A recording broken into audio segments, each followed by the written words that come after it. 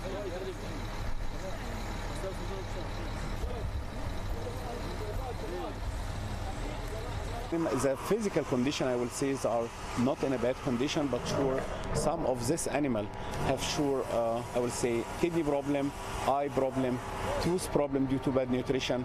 Some of the animal really don't have the, I will say, food for many days uh, before we were able to take care of them. They have very long trips, so have to pass a lot of things. Not forget that the, it was many hundred of animals. This is the last survival of this zoo from many hundreds of animals. We have only 13 animals. So this animal really, you say, they are wonder. It is maybe a reason for hope for, for human also.